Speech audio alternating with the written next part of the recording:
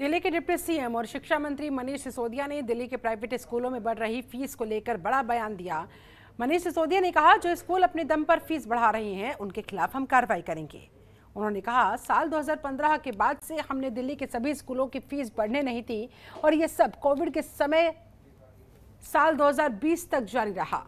हालाँकि अब हमने बहुत सीमित स्कूलों को दो से तीन प्रतिशत तक की फ़ीस बढ़ाने की अनुमति दी है, लेकिन ऑडिट कराया था। अगर कोई स्कूल अपने अनुसार फ़ीस को बढ़ाता है तो उसके खिलाफ कार्रवाई ज़रूर होगी।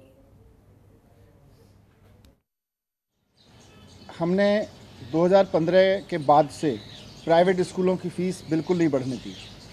यहाँ तक कि 2016-17 में जब बहुत सारे स्कूलों ने फ़ीस बढ़ाने की मांग की तो हमने सबको कहा कि हम आपके खाते चेक करेंगे। हमने ऑडिट कराया सारे स्कूलों का। जिस जिसके पास भी पैसा बैंक बैलेंस में उनकी एफ़ में रखा हुआ था उन्होंने फ़ीस का मोटा मोटा पैसा लेके रखा हुआ था। किसी को हमने फ़ीस बढ़ाने की इजाज़त नहीं दी। 2017, 17, 18, 18, 19, 19, 20 फिर दोनों कोविड के ईयर्स में किसी को इजाज़त नहीं दी।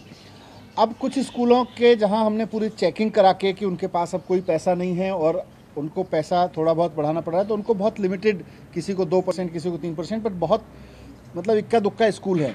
इसके अलावा अगर कोई स्कूल अपनी मनमर्जी से फ़ीस बढ़ा ले रहा है तो उसके खिलाफ जैसे ही पेरेंट्स की शिकायत आती है हम पूरी उसकी जाँच कराते हैं उसका ऑडिट कराते हैं और उसके खिलाफ एक्शन भी लेते खबरों के निष्पक्ष विश्लेषण के लिए सब्सक्राइब करें Jantantra TV and press the bell icon never miss any update